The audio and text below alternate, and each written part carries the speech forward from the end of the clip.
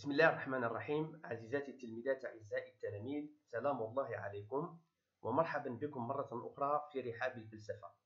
فبعد تناولنا واشتغالنا على مفاهيم التقنية والعلم الشغل وكلها مفاهيم تدخل في إطار مجال الفاعلية والإبداع نقف وإياكم في هذه الحصة عند موضوع يتعلق بمحددات الإنشاء الفلسفي المدرسي صيغة النص المرفق بمطلبي التحليل والمناقشة. علما أن محددات الإنشاء الفلسفي المدرسي ترتبط بصيغ ثلاث صيغة السؤال الإشكالي صيغة القول المرفق بسؤال وصيغة النص للتحليل والمناقشة. هذا الأخير موضوع حصتنا لهذا اليوم. ولكل صيغة من هذه الصيغ خطوات منهجية خاصة. كما تجدر الإشارة أيضا إلى أنكم كتلامذة مستوى السنة الأولى بكالوريا علوم متابعون خلال هذا الأسس الثاني بفرضين. الأول يكون على شكل نص فلسفي للتحليل والمناقشة أي نص فلسفي مديل بسؤال حلل وناقش والثاني على شكل سؤال إشكالي. إذا غايتنا هذه الحصة هو التمكن من استيعاب مختلف الخطوات المنهجية التي من خلالها نستطيع كتابة إنشاء فلسفي يستجيب للعناصر الأساسية المتعلقة بتحليل ومناقشة نص فلسفي. كما نهدف إلى تهيئكم لاجتياز الامتحان الوطني. لذلك فهذه الخطوات المنهجية التي سنقدمها لكم حول كتابة الإنشاء الفلسفي صيغة النص للتحليل والمناقشة مستوحاة من الأطر المرجعية المحينة للامتحان الوطني للبكالوريا 2014 ومن مذكرة التقويم رقم 4 على 142 ومن عناصر الإجابة المحينة لمواضيع امتحانات الدورتين العادية والاستدراكية لسنة 2019 عندما نشتغل على نص فلسفي مرفق بمطلبي التحليل والمناقشة فالمطلوب منا هو كتابة إنشاء يحترم المطالب الآتية. أولا مطلب الفهم وعليه أربع نقاط. ثانيا مطلب التحليل وعليه خمس نقاط. ثالثا مطلب المناقشة وعليه كذلك خمس نقاط. رابعا مطلب التركيب وعليه ثلاث نقاط. وأخيرا مطلب الجوانب الشكلية والأسلوبية وعليه ثلاث نقاط. أنتقل بكم إلى التفصيل في هذه المطالب. أولا مطلب الفهم. مطلب الفهم هو عبارة عن مدخل للموضوع أي مقدمة أو تأطير إشكالي من خلاله يسمح بقياس مدى فهم التلميذ. للنص ولموضوعه وذلك بتسويغ وبيان ما يجعل من القضية أو القضايا التي يثيرها الموضوع محط نقاش ونظر وتفكير. إذا يتبين أن هذا المطلب يقوم على خطوات ثلاث وهي تحديد موضوع النص والتمهيد له نقطة واحدة صياغة الإشكال نقطتان ثم طرح أسئلة أساسية موجهة للتحليل والمناقشة. نقطة واحدة. فيما يخص تحديد موضوع النص والتمهيد له يمكن الانطلاق لا للحصر إما من مساءلة الواقع. مثلا لنفترض أن النص قيد التحليل والمناقشة يتناول موضوع الشغل ويعالج قضية الشغل كخاصية إنسانية. هنا يمكن الانطلاق من الواقع ونعتبر أن النشاط الإنساني أي ما يقوم به الإنسان خاصة في علاقته بالآخرين والطبيعة هو نشاط يستهدف من خلاله تحقيق حاجياته البيولوجية الضرورية التي تحافظ على بقائه كأن يعمل الإنسان لكسب قوت يومه. نفس الشيء عندما يتعلق الأمر بالنشاط الحيواني كأن يعمل حيوان القندس على بناء سد لاصطياد الأسماك لكسب قوت يومه. إذا اعتبرنا هذا النوع من النشاط شغلا فهذا معناه أن الشغل قاسم مشترك بين الإنسان والحيوان. لكن بمجرد أن نتأمل علاقة الشغل كنشاط إنساني برغبات الإنسان واختياراته نجد أنه يرتبط بأبعاد ومميزات وخصائص لا نجدها ضمن النشاط الحيواني وبهذا يصبح الشغل فاعلية بشرية. إذا هنا حاول التمهيد للموضوع انطلاقا من مساءلة الواقع المعيشي. كما يمكن أن نمهد لهذا الموضوع أيضا انطلاقا من التأطير المفهومي. وهنا نعمل على تقديم تعريف إجرائي حول الموضوع. مثلا يتحدد الشغل كنشاط إنتاجي بواسطته يغير كل من الإنسان والحيوان الطبيعة الخارجية إلا أن الإنسان يغير بواسطته أيضا طبيعته الإنسانية بالعلم حيث يحقق ماهيته وحياته النوعية. هذا بالإضافة إلى إمكانية الانطلاق ليس فقط من مساءلة الواقع المعيش أو التأثير المفهومي بإمكاننا أن ننطلق أيضا من مساءلة البداهة أو مساءلة الذات أو التأطير انطلاقا من استبعاد أطروحة. كلها منطلقات بإمكان المتعلم أن ينطلق منها لصياغة تمهيد مناسب لموضوعه أو لإنشائه. هذا التمهيد سيمكننا من صياغة الإشكال. وفيما يتعلق بصياغة الإشكال فيمكن الاهتداء إلى ذلك عن طريق المفارقة أو الإحراج أو التقابل والتي يفترض أن يقودنا إليها التمهيد الذي اخترناه للموضوع. كأن ننطلق على سبيل المثال من تحديد المفارقة وانطلاقا من التمهيد الذي حاولنا الإتيان به آنفا. الشغل خاصية إنسانية الشغل قاسم مشترك بين الإنسان والحيوان. أو من التقابل وهنا التقابل على مستوى المفاهيمي الضرورة الاختيار النشاط الإنساني النشاط الحيواني الحاجة الرغبة إلى غير ذلك. إذا انطلاقا من الإحراج انطلاقا من التقابل من المفارقة يمكن صياغة الإشكال. والتي يمكن التعبير عنها في السؤال الإشكالي. التالي مثلا هل الشغل خاصية إنسانية أم أنه قاسم مشترك بين الإنسان والحيوان؟ ننتقل بعد ذلك أي بعد صياغتنا للإشكال إلى طرح أسئلة متدرجة. أسئلة للتحليل والمناقشة. هذه الأسئلة تعكس المسار الذي سنقطعه في بنائنا للموضوع الإنشائي وتقديمنا لحل المشكل الفلسفي المطروح. ما يميز سؤال التحليل أو أسئلة التحليل أنها أولا ترتبط بمرحلة التحليل ثانيا تكون الإجابة عنها من داخل النص. من قبيل ما الشغل؟ ما الفاعلية؟ ما الذي يجعل من الشغل خاصية إنسانية؟ أو بأي معنى يعتبر الشغل خاصية إنسانية؟ أما سؤال المناقشة أو أسئلة المناقشة فهي أسئلة نقد وفحص. تكون الإجابة عنها خارج النص. والإجابة عن سؤال النقد يكون في مرحلة المناقشة من قبيل. ألا يمكن اعتبار الشغل خاصية إنساني أو ألا يمكن اعتبار الشغل قاسم مشترك بين الإنسان والحيوان؟ أو مثلا إلى أي حد يمكن اعتبار الشغل خاصية إنسانية فقط. إذا هذه التساؤلات المرتبطة بالنقد والمناقشة من خلالها نضع موقف صاحب النص موضع سؤال. بهذا نكون قد أنهينا مرحلة الفهم. ونذكر أن مطلب الفهم يشتمل على خطوات ثلاث تحديد الموضوع والتمهيد له صياغة الإشكال طرح أسئلة موجهة للتحليل والمناقشة. بعد مطلب الفهم ننتقل إلى مطلب التحليل. إذن بعد ما انهينا من مطلب الفهم ننتقل إلى مطلب التحليل أي المرحلة الثانية. مطلب التحليل هو لحظة اشتغال منهجي ومنظم على النص. نعمل من خلاله على استخراج أطروحة النص باعتبارها جوابا أوليا من بين إجابات ممكنة عن الإشكال مع توضيح وشرح هذه الأطروحة. وهنا يجب تحديد الأطروحة بدقة كأن نقول مثلا يؤكد صاحب النص أن الشغل خاصية إنسانية. ونقوم بشرح هذا الموقف منطلقين من الأفكار والمضامين المستخرجة من النص. وهنا لا يجب إعادة كتابة النص وإنما نوظف أسلوبنا الخاص. بعد تحديدنا للأطروحة وشرحها عبر مضامين النص الأساسية ننتقل إلى الخطوة الثانية المتعلقة بتحليل مفاهيم النص.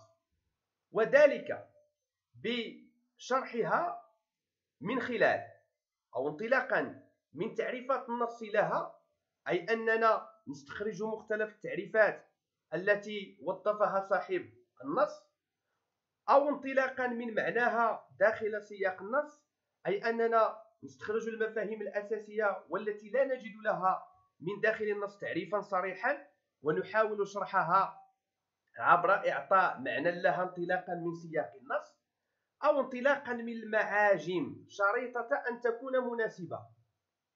بمعنى أنه بإمكاننا أن نضيف تعريفات لمفاهيم اعتمدها صاحب النص مستوحاة مما درسناه في الفصل أو انطلاقا من بعض المعاجم أو القواميس خاصة الفلسفية منها لكن يجب أن تكون هذه التعريفات تتماشى وتصور صاحب النص.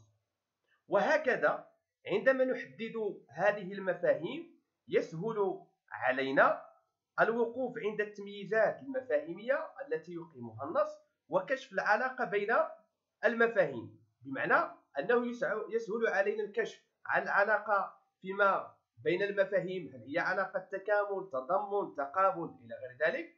والوقوف عند التمييزات المفاهيمية التي يقيمها النص. بعد ذلك ننتقل إلى الخطوة الثالثة والتي ترتبط بتحليل الحجاج المعتمدة ويتعلق الأمر هنا بتحديد حجاج النص المعتمدة وبيان المسار الاستدلالي الذي سلكه صاحب النص لعرض أطروحته وحمل المتلقي على قبولها والاقتناع بها. فكما تعلمون أن النص الفلسفي هو في المقام الأول نص حجاجي. لذلك على المتعلم أن يتبين المسار الذي اتخذه صاحب النص للدفاع عن أطروحته ومن ثم تحديد مختلف الحجج الموظفة. أولا بتحديد نوع الحجة مثلا نقول حجة المثال ثم المؤشرات الدالة عليها من داخل النص ثم وظيفة هذه الحجة من داخل النص. هكذا نكون قد أنهينا مرحلة التحليل ونذكر أن هذا المطلب يحتوي على الخطوات التالية استخراج الأطروحة وشرحها وعليها نقطتان تحليل المفاهيم والعلاقة بينها نقطتان. ثم أخيرا تحليل حجاج النص وعليه نقطة واحدة. وقبل أن ننتقل إلى مطلب المناقشة من الضروري صوغ استنتاج أو سؤال الانتقال أو كلاهما من أجل نقل المقال الإنشائي بشكل سلس إلى لحظة المناقشة. ننتقل إلى المطلب الثالث أي مطلب المناقشة وهو بمثابة حوار وتفكير مع وضد أطروحة النص في سياق الإجابة عن الإشكال. ويتم في هذا المطلب أولا مناقشة أطروحة النص بمساءلة منطلقاتها ونتائجها مع إبراز قيمتها وحدودها. إبراز قيمة الأطروحة من خلال الوقوف عند مكامن القوة للأطروحة من حيث حججها قيمتها المضافة للموضوع أو القضية المطروحة إلى غير ذلك. وهنا نحاول أن نعود إلى البنية الحجاجية الموظفة في النص ونحاول أن نكتشف طبيعتها وقوتها.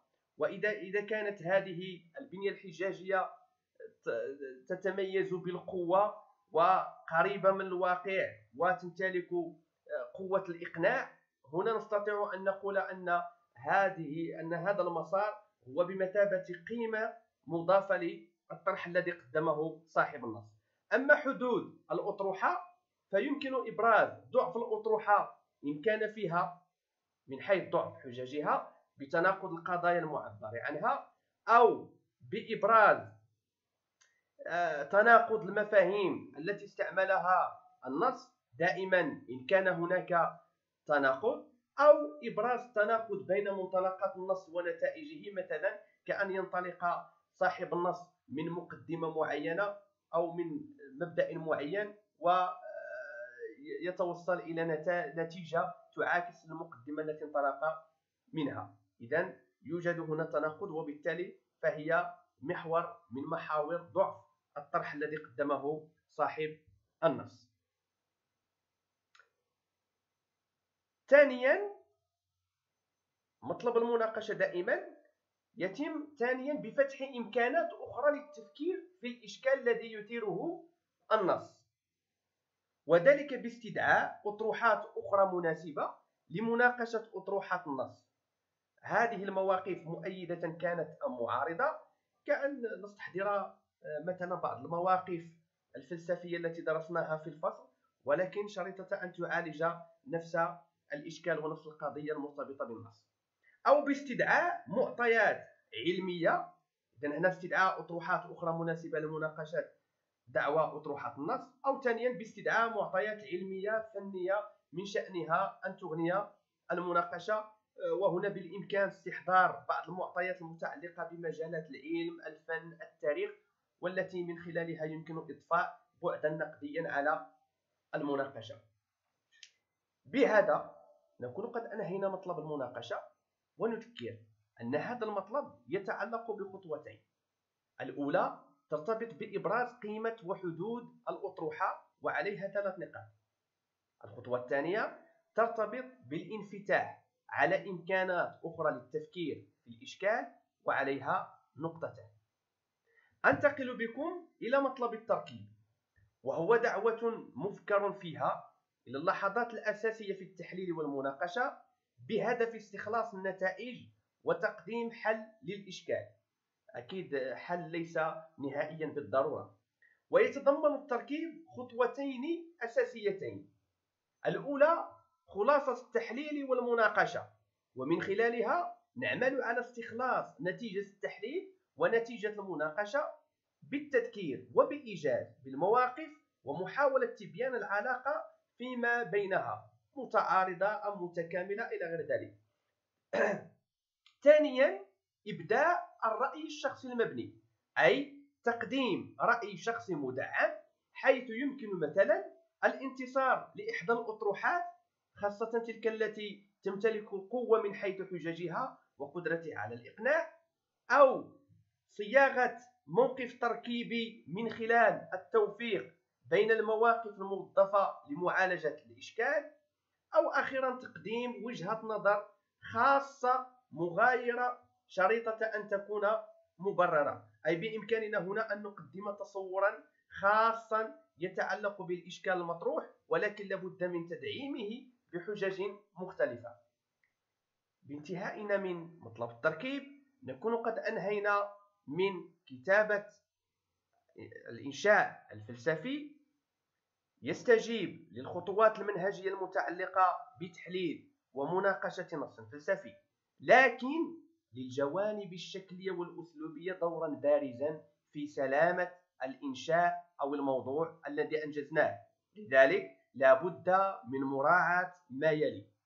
تماسك العرض أي ترابط اللحظات الأربع للموضوع بحيث يكون الانتقال من لحظة إلى أخرى انتقالا مبررا وسلسا يكشف وحدتها وترابطها. وعليه نقطة واحدة. سلامة اللغة أي خلوها من الأخطاء الإملائية والنحوية وغير ذلك. نقطة واحدة أيضا. وضوح الخط بحيث يكون الخط مقروءا وجميلا. نقطة واحدة.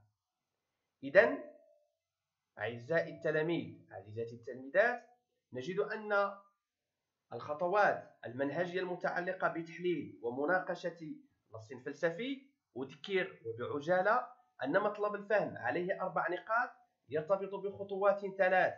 الأولى تحديد موضوع النص والتمهيد له صياغة الإشكال ثم أخيرا طرح أسئلة موجهة للتحليل والمناقشة. ثم مطلب التحليل وعليه خمس نقاط يرتبط بخطوات ثلاث. الخطوة الأولى تحديد الأطروحة وشرحها. ثانيا تحليل المفاهيم وكشف العلاقة فيما بينها ثالثا وأخيرا تحليل الحجاج المعتمد. حينما ننتقل إلى المناقشة فهي ترتبط بخطوتين. مناقشة داخلية ترتبط بإبراز قيمة وحدود الأطروحة ثلاث نقاط ثم بالانفتاح على إمكانات أخرى في التفكير وللتفكير في الإشكال نقطتان. أما التركيب عليه ثلاث نقاط نجد أولا خلاصة للتحليل والمناقشة نقطتان الرأي الشخصي المدعم نقطة واحدة.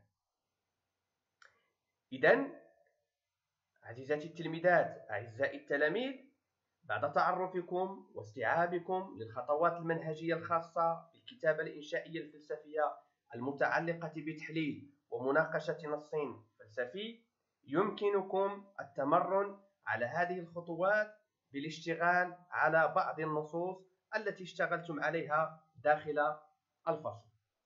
إذا شكرا على حسن انتباهكم وعلى إنصاتكم ولنا عودة في القريب العاجل.